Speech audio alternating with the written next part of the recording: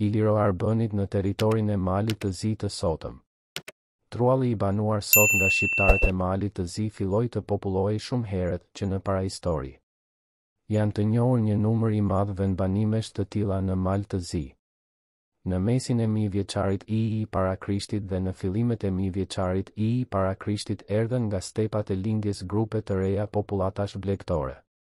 Këto u përzienë me banorët vendës dhe kështu u krijua bashkësia e re kulturore e popullatës indoevropiane në të gjithë gadishullin e Ballkanit. Kjo popullsi mendohet të jetë popullsia e lashtë pellazge, për të cilën kanë shkruar shumë autorë të vjetër, si Homeri, Herodoti, Tukididi. Pellazgët njihen si banorët më të lashtë parailirë e paragrekë, që jetonin në gadishullin e Ballkanit e në Pellgun e Egjeut. Gjatë epokës së bronzit filloi procesi i diferencimit etnik të popullatave të Ballkanit Perëndimor.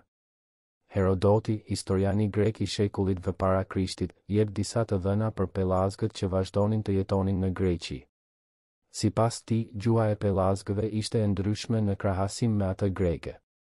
Ata merreshin me bujqësi e detari. Ishin edhe mjeshtër të mirë ndërtimi. Shtrirja e popullsisë ilire ishte mjaft e gjerë, në pjesën perëndimore të Gadishullit e deri te gjiri i Ambrakisë, Prevezë, në jug, kurse në lindje deri te tokat përreth liqenit Lyhnid, Ohrid. Grupe ilirësh zunë vend edhe në Italinë e Jugut. Emri etnik ilir shfaqet në veprat antike që në shekullin vë para Krishtit, kurse emrat e disa fiseve ilire fillojnë të përmenden që në shekullin xii para Krishtit, Homeri. Por koha e formimit të etnosit ilir është shumë e lashtë. Fillimet e origjinës ilire janë që në mesin e mijëvjeçarit ii para Krishtit, që nga periudha e Bronzit të Mesëm, kur fillojnë të formohen tiparet etnike ilire. Një ndër problemet me vlerë të veçantë në historiografi është paraqitja e konceptit ilir dhe Iliri në arealin e Malit të Zi të sotëm. Në këtë aspekt njoftime interesante ofrojnë burimet e antikitetit, si, Pompon Mela dhe Gaj Plin Secundi, të cilët i përmendin ilirët e mirëfilltë, Illyrii proprie dicti. Ndër fiset më të përmendura ilire janë Ardianët ose Vardejt, Ardiai, Vardai. Sipas Strabonit, ata janë shtrirë në gjirin e Bokës së Kotorit, përkatësisht Rizonit, Rhizon, Risani i sotëm. Ardianët e shtrinë pushtetin e vet në të gjitha krahinat e tjera që më parë ishin nën sundimin e taulantëve. Një kohë kryeqendra e ardianëve ishte Shkodra. Me ardianët lidhje të afërta kishin plerejet, të cilët kanë jetuar në perëndim prej Bokës së Kotorit, përkatësisht Rizonit. Në lindje dhe në treva të afërta të Bokës së Kotorit jetonte fisi ilir Enkelej. Për shtrirjen e tyre ka bërë fjalë Pseudo Skylaksi, shekulli VI-V para Krishtit, i cili theksonte se ata shtriheshin përtej Rizonit, si dhe lundronin në hapësirën prej Budvës deri te Epidamni, Durrësi.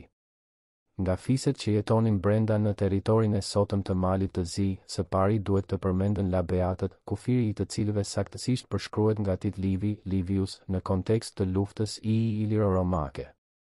Livi e përmend Shkodrën si kala të fortifikuar mirë dhe si qytet të labeatëve, i cili ishte i papërshtatshëm për t'u pushtuar.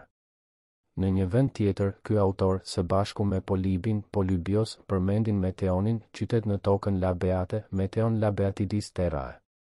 Vetë qyteti Meteon, sipas gjetjeve arkeologjike, por edhe sipas burimeve të shkruara mund të identifikohet me Medunin te Podgorica.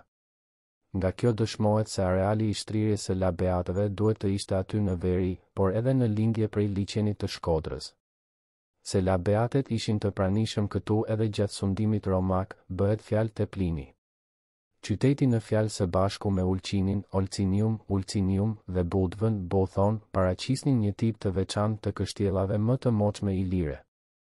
Meduni është ngritur në trevën e Kuçit të Malit të Zi Lindor, e cila deri në kohën më të re ka qenë një fortifikatë me rëndësi me mure ciklopike dhe me një shkallë shumë të vjetër të gdhendur brenda në shkëmb.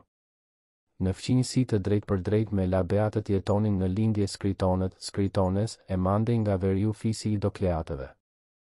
Sikur me rastin e Labeatëve, pozita e Dokleatëve ndaj Ardianëve na mbetet pak e paqartë.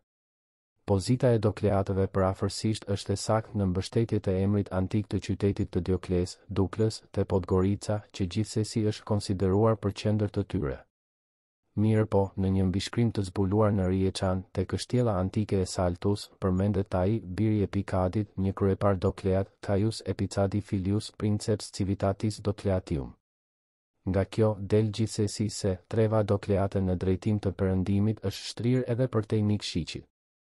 Mirëpo, na mbetet ende jo i qartë dhe jo i përpiktë kufiri ndërmjet labeatëve dhe dokleatëve. Duke marrë në konsideratë identifikimin e Meteonit Medunit dhe Dioklesë si qendra të dy fiseve ilire, kufiri ndërmjet labeatëve dhe dokleatëve duhet kërkuar mu në territorin ndërmjet Duklës dhe Medunit, që janë larg mes vete. Gjurmët e djegura të bazilikës civile të qytetit të Dioklesë tregojnë ndoshta se qyteti është pushtuar prej ostrogotëve në vitin katërqind e tetëdhjetë e nëntë dhe ka të ngjarë se mbeti i braktisur deri në kohën e Justinianit, pesëqind e njëzet e shtatë, pesëqind e gjashtëdhjetë e pesë.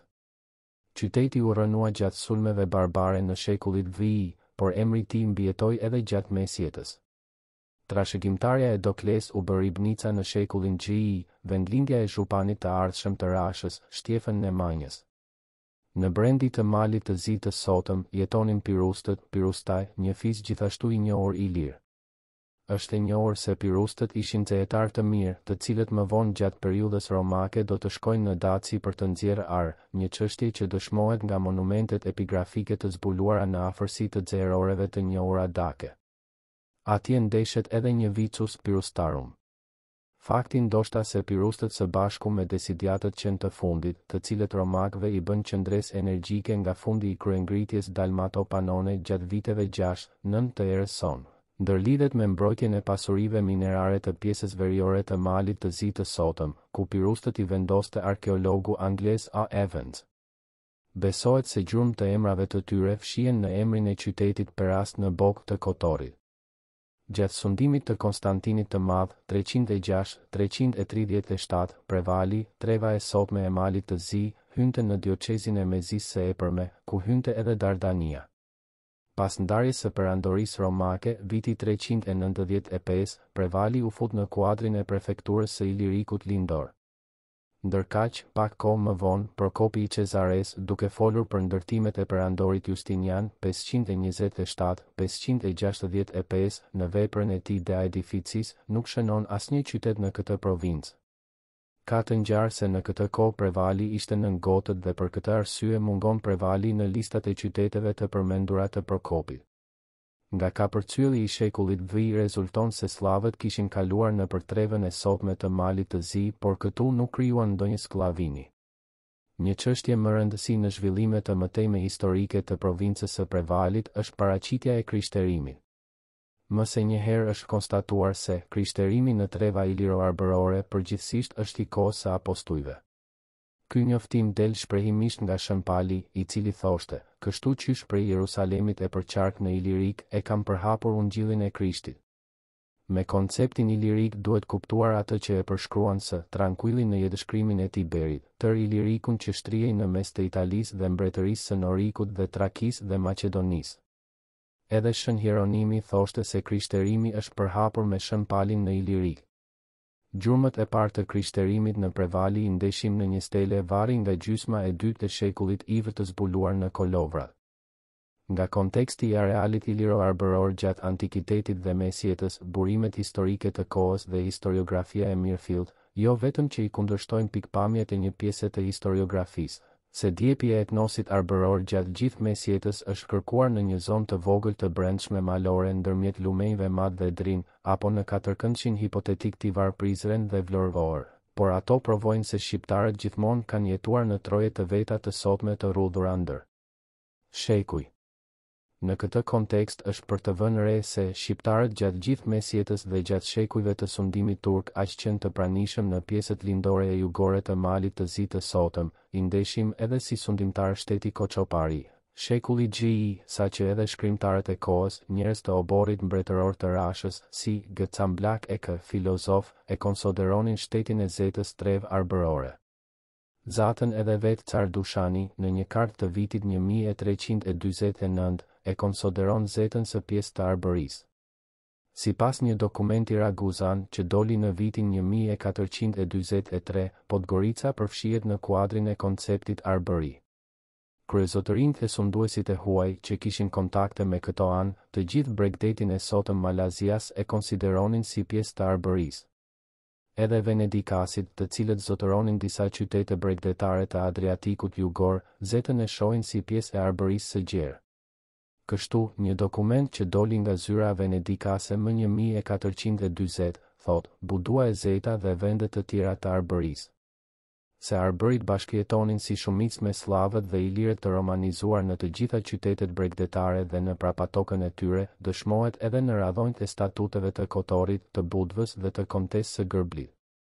Në hapësirën e Malit të Zi të sotëm, gjatë sundimit nemanjid realizoheshin edhe kontaktet midis popullatës vendore dhe sunduesve serbë.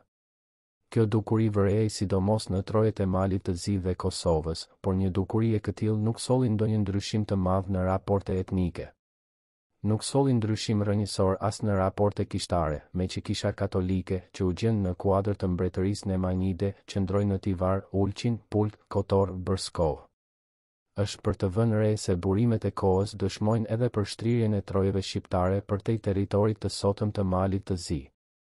Kështu, masat kompakte të arbërve në Kotor, Raguz, si dhe në prapatokën e tyre, e Hercegovinë, gjatë shekullit xiii xv, tregojnë se këtu kishte kudo edhe mbeturina iliro-arbërore autoktone të shkëputura nga bërthama. Që këtej, ndonjë studiues serioz pohon se vendosja e sllavëve në këto anë, pra edhe në Mal të Zi, kishte rënë si një sopatë, që kishte prerë në veri dhe në jug disa degë të trungut dhe i kishte ngushtuar brenda një qarku më të vogël. Një pasqyrë paksa identike të shtrirjes së trojeve arbërore në troje të Malit të Zi të sotëm ndeshim edhe në dokumente të burimit italian, turk e austriak të shekullit XV-XVII. Vlen të theksohet se derisa defteret kadastrale turke të tipit të hollësishëm ripohojnë në një hapësirë të gjerë gjatë shekujve në fjalë, Dokumentet italiane e austriake të periudhës së përmendur pjesën dërmuese të territorit të sotëm malazias e inkuadronin në kuadrin e konceptit Arbëri, çështje për të cilën do të bëhet fjalë posaçërisht se popullsia e pjesës dërmuese të kësaj hapësire gjatë shekullit XVII ishte thuajse arbërore e provojnë edhe shumë të dhëna, sikur kjo e Saar, Boethiusit, i cili të gjitha fiset që jetonin në territorin malazias i quante arbërore.